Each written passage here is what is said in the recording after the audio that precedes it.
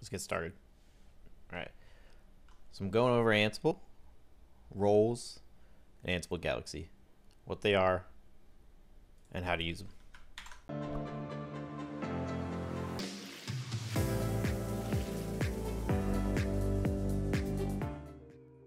Very basic, nothing too in depth. This is going to get you started so you can begin to use roles in your playbooks. And maybe how to use Ansible Galaxy. Alright, so we left off in the last stream, last video. Um, we went over the copy module and how to use it to copy files uh, from your control node to your manage nodes, and also from manage node uh, to within the same manage node. Uh, and we also went over the host group, the host vars and the group vars uh, directory structure and how we can use those um, to assign variables uh, in different ways. So in this one, like I said, we're going to go over Ansible roles and Ansible Galaxy, what those two things are, how they relate to each other, and how we might be able to use them in our project. So if I come to the documentation for Ansible, uh, let's start off with uh, Ansible role, roles, right? So storing and finding uh, roles. By default, Ansible looks for roles in two locations. So Ansible is going to look for a role in a directory called roles slash with its relative to the playbook file that you're running. So if we come back to uh, the project that we've been working in over here, if I run this uh, inventory, no, sorry, if I run the copy copy module.yaml playbook or the Nginx deployment playbook, and I have a role specified within this playbook, Ansible is going to look within this directory first for a directory called roles for that role. And if it's not going to find it there, it's then going to look in etc Ansible roles right here. And if it can't find it in either of those, it's just going to fail out because it can't find the role. So to get started, I always like to create a directory in the same directory as my playbook, playbooks, and call it um, roles. You don't have to do it this way. You can certainly uh, store your role in etc Ansible roles. Um, but this is how I normally do things when I'm creating a, a playbook on the fly or creating a uh, repository that I then want to push to like an SCM system such as GitHub. Uh, cd into roles here. Now roles have a specific structure, right? Um, so if we come to the documentation, um, you'll see there's like a whole, uh, where is it? There's a role directory structure section here. And basically you can have all these files and all these directories uh, included in your role, but they're not all uh, required, right? So an Ansible role is defined structure with eight main standard directories. You must include at least one of these directories within each role. You can omit any that the role does not use, right? So within my role, if I have a role called common, if I just want to use tasks and I don't need any of these other directories, I can leave them out. But these are the standard directories here, right? So real quick, we'll go over Ansible Galaxy in a second. But if I wanted to create a role very quickly in Ansible, I'm going to use the Ansible dash galaxy command. And we're going to do an init, or actually role init. So we're going to initialize a role and then whatever we want to call it, right? So if I want to call this role, um, let's call it copy, no, copy, yeah, we'll just call it the copy files role, right? So within whatever directory that I run the Ansible Galaxy role init, the name of my role, command in, it is automatically going to create that role directory structure within that directory. So we can see over under my roles directory now, I have created a entire role here right? So if I ls, so there's copy files, right? And that's what it's uh, in right now. It looks a little weird here on the left because it's the only directory here. Like if I make directory called temp here, um, it's going to fix that structure there. So it looks a little less weird now. Um, but it created the copy files role directory structure for me so I don't have to remember how it's supposed to be lined out. And remember, you don't need to do it that way. You can certainly just uh, create a directory with your role name and create a file in it called tasks and add directories as you need, right? Um, but this is a good good way of standardizing it. So uh, you saw I used the command ansible-galaxy. Uh, so what is Ansible Galaxy and what does that mean? So in Ansible, we have this thing called Ansible Galaxy and it's this public repository, this public website where you can develop a role or a collection of roles and you can upload it here for other people to download, right? So it's a way of sharing what you've done, right? So if just an, as an example, if I come over here and I go to system, um, you can search around for different roles you might need. Uh, I'm on Ubuntu, so I'm going to go over here to popular platforms. And maybe I want Geerling Guy's uh, pip uh, module, right? So, or pip role, excuse me. So, um, it's as easy as, as just looking for what you need within the Ansible Galaxy uh, server. And then if you wanted to download this, right, you could just copy this. You could come over here and do an Ansible Galaxy install. And it's automatically going to download the role for you, right?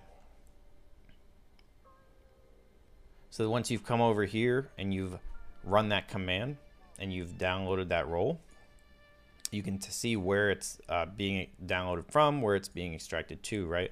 So this has been put in my dot .ansible roles pip directory uh, by default.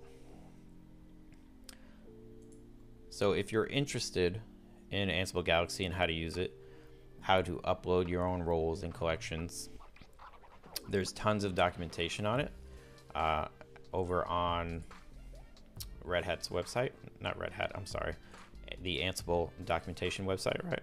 So you've got installing content, collections. Um, I'm in the Ansible Galaxy documentation section. And there's creating roles, um, scoring, importing, release process, all that good stuff is here. So back to roles though, right? So you can either download a role from Ansible Galaxy or you can create your own, your own role. So let's go over how uh, you might create your own role within Ansible. So you just saw the first step, first basic step. If you want the directory structure created for you, the, the, the standard directories, you run the Ansible Galaxy uh, role init and then the name of the role you wish to create, right? And then it gets created in that directory. And I'm just going to delete temp real quick. So we have a directory called tasks that is automatically going to be where within a role where the tasks that you're trying to accomplish are going to be, right? So this would be like you writing a playbook, but just leaving out the play at the top of the playbook. So for instance, if my role was called install Nginx, I would just copy all of these tasks, right? And I would place them within the tasks directory main.yaml and those would be the tasks for the role. We get a templates directory by default. So if we want to use the template module, Jinja 2 syntax, this is where we would um, store our templates, right? So in an earlier video, we created a templates uh, directory for our playbook to use the template module with. So in within the role, we would just put these temp templates into the uh, templates directory. And then we have a few other directories here that uh, we have handlers, meta, defaults, and tests. And those are a little more advanced. We'll go over those a lot later in the Ansible episodes. Um, but for right, we also have vars, and for right now, all you need to know to get started with roles are tasks, templates, and vars.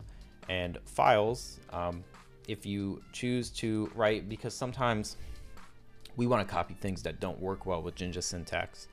Um, so we want to put those in files instead of uh, templates if we don't need to um, do any uh, Jinja formatting with those templates. So the vars directory has a main.yaml as well. And this is where you would put any variables that need to be included uh, in your role. Let's create the role. So within the task directory, we've got a main.yaml, and this is we're going to put our tasks, right? So we're just going to start naming our tasks here. So we're going to copy templates to host. So we're going to copy templates to our manage nodes using the template module. And the source is going to be template1.j2. And this template is going to be taken automatically. We don't have to define a full path or, or we don't have to define templates slash because it's a role and it's going to by default look in the templates directory. So create a new file, template 1.j2. So that's the name of the source template. And we're just going to define a variable in here. All right. And this is going to be, let's say, um, text example. All right, so I have a Jinja 2 template called template 1 with a variable in it, and the variable is text example. So I'm going to be using source template 1. I'm going to put it on my manage nodes. We're going to put it in slash temp. We're going to call it template. Uh, let's just call it host so we can differentiate from the name of the source file. And that's it. That's it for that role, right? Uh, as far as tasks go, we still have to define this variable for the Jinja 2 template somewhere within our role, right? Uh, so just to start off, we're going to define it here. So this was text example was our variable. And I'm just going to call this, let's do the classic hello world, I guess. All right. So now I've got my role called copy files. The tasks have been defined in the task directory. So we're going to copy template one to the temp directory on the manage node as template host. Here's our template. Again, using the text example variable, which you defined within the role vars directory as hello world. So now I'm going to come over to my playbook here, right? And I'm going to get ahead and get rid of this tasks section. Oh man. My Visual Studio Code does not like me today. Whoa. There we go. All right. So there's multiple ways to call a role within Ansible. There's static and dynamic, right? We're going to go over the most basic way. So we're just going to say roles here within our playbook. And then we're going to start naming our roles that we would like to call. So I'm going to call my copy, oh, can't spell, copy files role. And that should be all I need. So now if I run this playbook against my workers group, it should call the copy files role. So let's go ahead and test that theory. So we'll do an Ansible dash playbook. Yes, I want inventory two because that's where the workers group is defined. I believe, let me make sure. Workers, yes. And we are using the copy module playbook where we're calling a role. Oh, damn it, I lost it. There we go. And dash K, capital K, um, to be asked for our sudo password. So this should copy our template with our text to all three of the worker nodes in the workers group.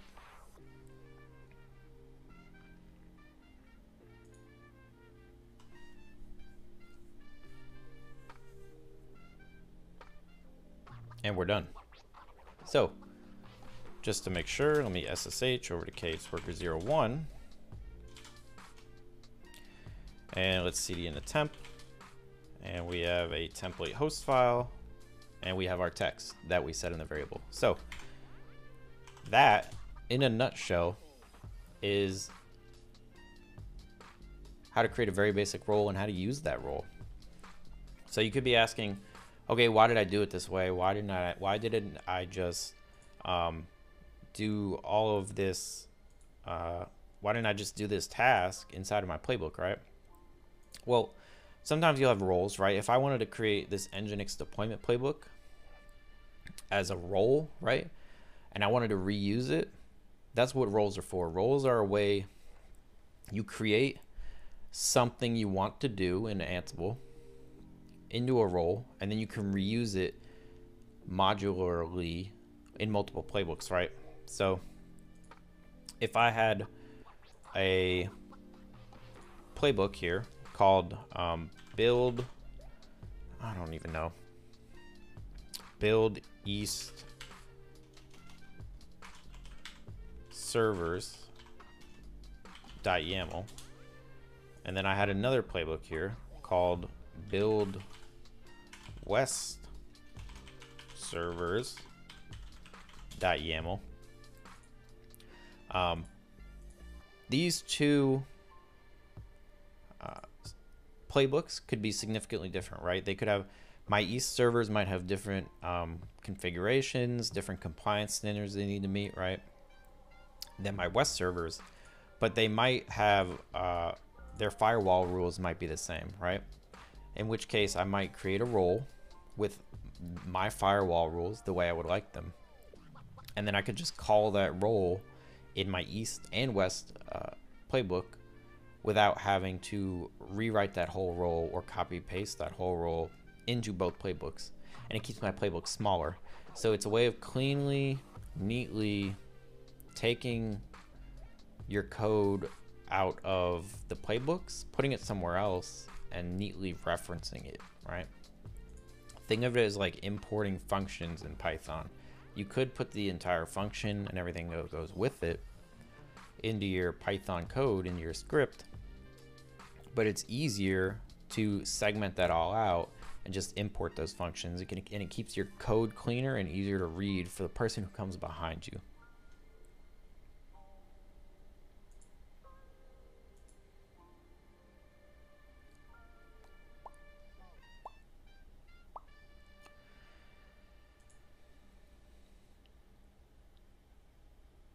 yeah, so I think, so I think that's it for today. Actually, that was a pretty short one. Yeah.